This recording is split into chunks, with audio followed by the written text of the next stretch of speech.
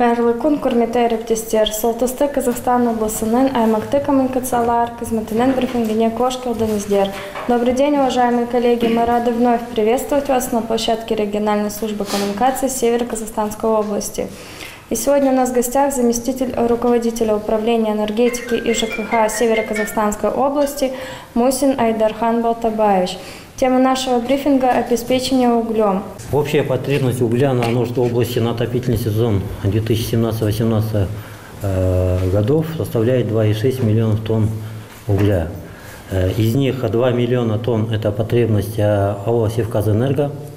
На сегодняшний день АО «Севказэнерго» обеспечено, обеспечен углем в объеме 240 тысяч Э, тонн. Э, это 30-дневный э, запас при нормативном запасе 140 тонн, то есть на 100 тысяч тонн больше угля.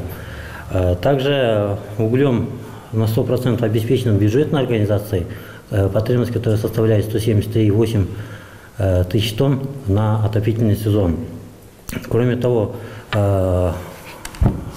углем обеспечены нашей центральной котельной, которые имеются э, в районах э, областей. Потребность угля населения на отопительный сезон составляет 410 тысяч тонн э, угля. Из них на сегодняшний день заготовлено 265 тысяч тонн угля, что составляет 65%. Цены угля варьируют от 7 до 16 тысяч. На сегодняшний день Э, в области имеется запас для, э, для нужд населения э, около 27 тысяч тонн. В областном центре реализации угля занимается у нас 4 поставщика. ТО ЛТД, ТО ОТН ЛТД, ТО Уголь Норд и ИП. На сегодняшний день в областном центре запас угля для населения составляет 830 э, э, тонн. На тупиках ОТН ЛТД и Юна ЛТД. Дефицит угля в областном центре